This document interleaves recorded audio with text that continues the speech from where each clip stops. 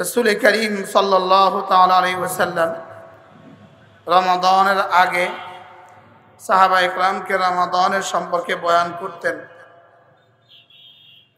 এজন্য যেহেতু রমজানের বাকি আর মাত্র সাত দিন, এজন্য কিছু কথা আল্লাহ তালা যদি আমাকে তাওফিক দান করেন, আপনাদের সামনে দু চারটা কথা আরজ করব। প্রথম শব্দ হলো, প্রথম বিষয় হলো রমাদানের রোজা কার জন্য ফরজ? কার উপরে ফরজ? যদি কোনো মানুষ পুরুষ হোক, নারী হোক, চার গুণে গুণী হয়, তার উপরে রোজা ফরজ। বলেন, কয় গুণে গুণী? এক নাম্বার, যদি সে ইমানওয়ালা হয়, দুই নাম্বার, সে বালেগ হয়, তিন নাম্বার, সে সুস্থ হয়, চার নাম্বার, সে মুকিম হয়। এই চার গুণে গুণী হলে তার উপরে রোজা ফরজ। বলেন, চার গুণে গুণী হলে তার উপরে কি ফরজ? এক নাম্বার, মোমেন হওয়া। দুই নাম্বার, বালেগ হওয়া। তিন নাম্বার, সহি বা সুস্থ হওয়া। চার নাম্বার, মুকিম বা মুসাফের না হওয়া। তাইলে বোঝা গেল, কোনো ইয়াহুদির উপরে রোজা ফরজ না, কোনো নাসারার উপরে রোজা ফরজ না। কোনো হিন্দুর উপরে রোজা ফরজ না, কোনো বেঈমানের উপরে রোজা ফরজ না নাবাগ নাবালেগের উপরে রোজা ফরজ না।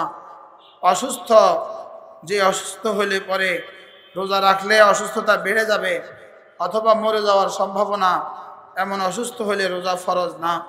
মুসাফের যদি কেউ দেশে সফর করে, আটচল্লিশ মাইল দূরত্বের কোনো সফর করে, এই মুসাফের উপরেও রোজা ফরজ না। তাহলে বেঈমানের উপরে রোজা ফরজ না। আর তাহলে ইমানদার রোজা ছাড়তে পারবে না, বেঈমান রোজা রাখতে পারে না। বলেন, বেঈমান কি?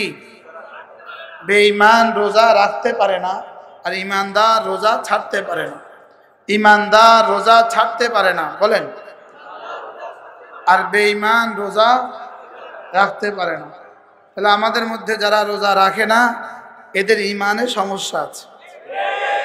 এদের ইমানে কি আছে বলেন وما كان لمؤمن ولا مؤمنة إذا قضى الله ورسوله أمرا أن يكون لهم الخيرة من أمرهما رب العالمين বলেন আমি আর আমার রসুল যখন কোনো বিষয় নির্দেশ দেই তো কোনো মোমেন পুরুষ আর কোনো মোমেন রমণীর জন্য এর মধ্যে দ্বিতীয় কোনো বক্তব্য দেওয়ার সুযোগ নাই সে করার সুযোগ নাই বলেন সে করার কি নাই বলেন সুযোগ নাই ডিসি সাহেব যদি তার ফিয়নকে চা দিতে বলে, ফিয়নের এখানে সে বলার সুযোগ নাই, কোনো বক্তব্যের সুযোগ নাই।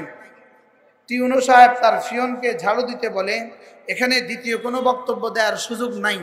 আল্লাহ তালাও বলেন, মৌমেন পুরুষ আর মৌমেন মহিলাকে আমি যখন কোনো কিছু বলি অথবা আমার রসুল কোনো কিছু বলে, দ্বিতীয় বক্তব্য দেওয়ার সুযোগ নাই। দ্বিতীয় বক্তব্য দেওয়ার কি নাই বলেন? সুযোগ নাই। তাহলে মোমেন যে রোজা রাখবে সে বলেন। আবার বলেন। আর বেঈমান বেঈমান রোজা রাখতে পারে না। বেঈমান দুটো ভালো কাজ করতে পারে না। একটা হলো নামাজ পড়তে পারে না দুই নম্বর হলো রোজা রাখতে পারে না। বাকি সব ভালো কাজ পারে। বাকি সব ভালো কাজ কি? পারে। বেঈমান কয়টা ভালো কাজ পারে না বলেন। কি কি? নামাজ পড়তে পারে না আর কি করতে পারে না? বলেন রোজা রাখতে পারে না বেঈমান কয় কাজ পারে না? কি কি? আর মুসলমান মহাজ আল্লাহ কোনো গুণা করতে পারে মুসলমান গুণা করতে পারে তবে নামাজ ছাড়তে পারে না রোজা ছাড়তে পারে না। কি? মুসলমান গুণা করতে পারে তবে নামাজ ছাড়তে পারে না আর বেঈমান হাজারো ভালো কাজ করতে পারে, তবে নামাজ পড়তে পারে না, রোজা রাখতে পারে না। বলেন, বেঈমান কি কি পারে না? আর মোমেন কি কি পারে না? নামাজ ছাড়তে পারে না নামাজ ছাড়তে পারে না রোজা ছাড়তে পারে না। আল্লাহ তালা আমাদেরকে তাও ফিক দান করেন। দিনের বেলায় রমজানের দু কাজ, বাড়তি দুটো কাজ আছে। প্রথম কাজ হলো দিনের বেলায় সিয়াম, রাতের বেলায় কেয়াম।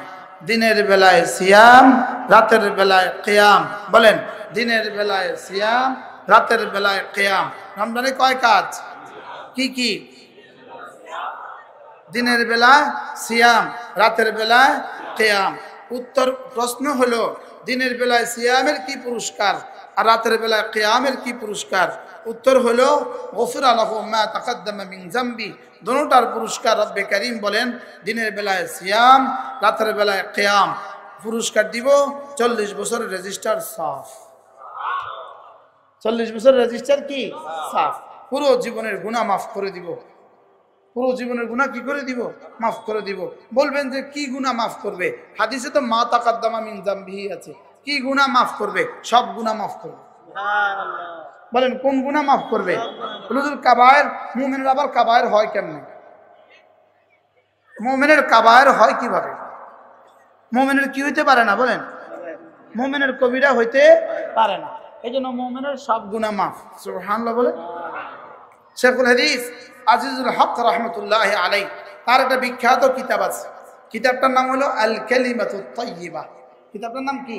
আল কালিমাতুত তাইয়্যিবা শেখুল হাদিস আজিজুল হক রহমাহুল্লাহ তাআলা তিনি লিখছেন কালিমায়ে তাইয়্যিবা এই কিতাবটার মধ্যে তিনি লিখছেন কোনো ইয়াহুদি যদি কালিমায়ে তাইয়্যিবা পাঠ করে তার যদি সত্তর বছরের ইয়াহুদিয়ত মাফ হয়ে যায় নাসরানিয়ত যদি মাফ হয়ে যায় হিন্দু যদি পাঠ করে তার শিরিকের গুণা যদি মাফ হয়ে যায় কোনো মৌমিন কালেমায় তৈবা পড়লে তার কবিরা গুণা মাফ হবে না কেন?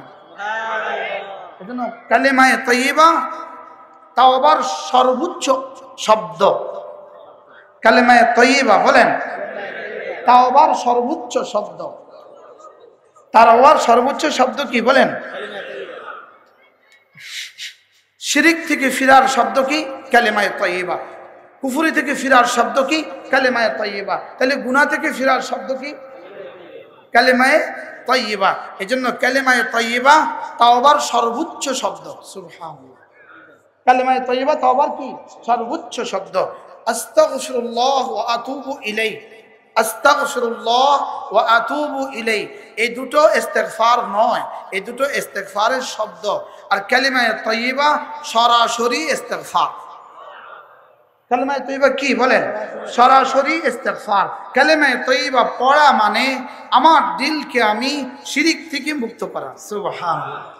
হযরতে বিখ্যাত তাবেঈ আতা ইবনে আবি রাবাহ রাহিমাহুল্লাহু তাআলা তাকে কেউ জিজ্ঞেস করেছে হযরত আলাইসা লা ইলাহা ইল্লাল্লাহ বিমিফতাহিল জান্নাহ? লা ইলাহা ইল্লাল্লাহ। এটা কি জান্নাতের চাবি না? তো তিনি বলেন আলাইসা লিকুল্লি মিফতাহিল উসনান। জান্নাত সব চাবির কি দাঁত থাকে না। সব চাবির কি দাঁত থাকে না? বলেন। সব চাবির কি কি থাকে না? দাঁত থাকে না। হ্যাঁ সব চাবির তো দাঁত থাকে। এবার বলেন, ওয়ালে লা ইলাহা ইল্লাল্লাহ, ওয়ালে লা ইলাহা ইল্লাল্লাহ, উসনান, লা ইলাহা ইল্লাল্লাহ, এটারও দাঁত আছে। এটারও কি আছে বলেন? দাঁত আছে। দাঁত ছাড়া যেমন চাবি দিয়ে খোলে না, এটার দাঁত, সমস্ত আওয়ামের এটার দাঁত। সমস্ত নওয়াহি এটার দাঁত, সমস্ত আদিষ্ট বিষয় এটার দাঁত, সমস্ত নিষিদ্ধ বিষয় এটার দাঁত। এটা যখন সমস্ত আদিষ্ট বিষয়ের উপরে উঠবে, এটার সাথে যখন সমস্ত নিষিদ্ধ বিষয় থেকে বেঁচে থাকা হবে, এটা জান্নাতের চাবি। এটা জান্নাতের কি? চাবি। আচ্ছা আপনি বুঝে থাকলে বলুন তো দেখি, চাবির কি লাগে? আচ্ছা দাঁত যদি ভেঙে যায়, এটাকে কি করা হয়? রিপেয়ার করা হয়, মেরামত করা হয়। মেরামত করতে কি লাগে? আগুন আগুন আগুন। মেরামত করতে কি লাগে বলেন? আগুন লাগে, আর কি লাগে? রেত লাগে, আর কি লাগে? হাতুড়ি লাগে। কি লাগে? সেনা লাগে, সেনা। সেনা চিনেন যেটা দিয়ে কাটা হয়, যেটা দিয়ে কি কাটা হয়? লোহা কাটা হয়। পিটাইতে হয় হাতুড়ি দিয়া। তো বলে, চাবির যদি দাঁত ভেঙে যায়, চাবির যদি দাঁত না থাকে, এটাকে যেমন ফিটাইতে হয়, মহাজ আল্লাহ, কালেমায় তৈবার দাঁত না থাকলে এটাকেও পিটাইতে হবে। এটারে পিটাইয়া দাঁত বাইর করে তারপরে কি দিবে বলেন? চাবি তারপরে খুলবে। এই জন্যই মহাজ আল্লাহ এই জন্যই মহাজ আল্লাহ জাহান্নাম এই জন্য কি লিগা? এই জন্য কোনো মোমেন খুলুদ ফিল জান্না নয়, খুলুদ ফিল জাহান্নাম নয়, কোনো মোমেন খুলুদ ফিল নার নয়, চিরস্থায়ী জাহান্নাম নয়। কেন? ইমান যে আছে এই জন্য চিরস্থায়ী জাহান্নাম নয়। তবে যদি কবিরা গুণা থাকে, তাহলে আল্লাহ মাফ না করলে ধরেই জান্নাতে যাবে না। পিঠা খাওয়ার পরে জান্নাতে যাবে। পিঠা কেন হবে? দাঁত বের করার লেগে। পিঠা কেন দিবে বলেন? দাঁত বের করার লাগিয়া এখন কি পিঠা খেয়ে জান্নাতে যাবেন না পিঠাই ছাড়া জান্নাতে যাবেন? আবার বলেন, পিঠাই ছাড়া না পিঠাই পিঠাই সহ? ভায়া জাহান্নাম জান্নাত নাকি ডাইরেক্ট জান্নাত?